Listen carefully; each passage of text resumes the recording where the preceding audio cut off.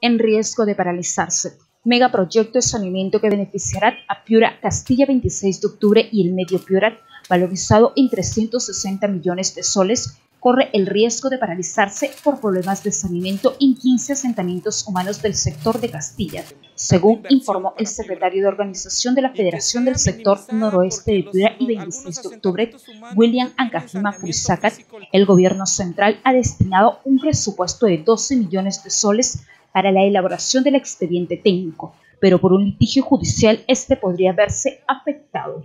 Tanta inversión para Piura y que sea minimizada porque los, algunos asentamientos humanos no tienen saneamiento físico legal, o sea, es absurdo. Si tenemos que sentarnos con los, con los posibles propietarios de las tierras, si tenemos que conversar con las futuras empresas que son dueñas, si tenemos que, sentarnos con el Ministerio de, de Justicia, si tenemos que sentarnos con el Ministerio de Agricultura, quienes están en litigio, tenemos que sentarnos de una sola vez por Piura fue tras una reunión de dirigentes que han visto amenazado el proyecto integral, que no solo afectaría el megaproyecto, sino también la ampliación de la planta de tratamiento de Curumuy, cuyo expediente técnico ya ha sido licitado la semana pasada.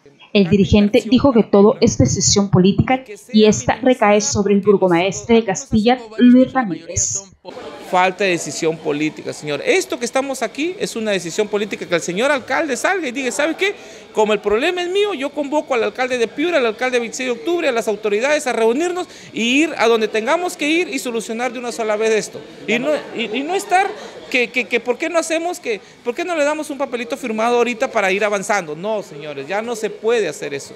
Ya estamos como se dice, sobre, sobre, sobre el problema. Ya estamos aquí y necesitamos una solución inmediata. Cabe mencionar que el expediente técnico para el megaproyecto tendrá que culminarse antes de fin de año, pero por la falta de saneamiento físico legal de varios asentamientos humanos en Castilla, este podría paralizarse.